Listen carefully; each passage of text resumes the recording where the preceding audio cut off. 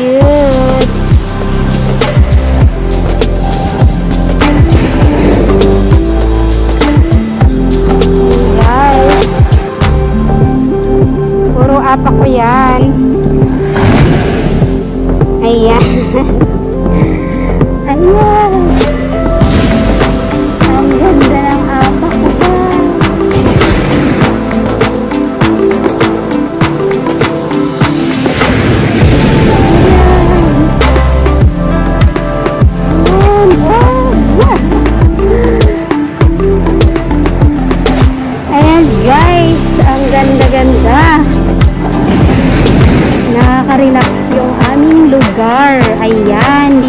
Kabuyan sa Port Parton, San Vicente, Palawan.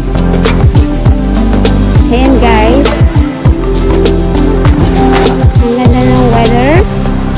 Ayan. Yung sunset is coming pa lang. Ayan. Yung mga naliligo.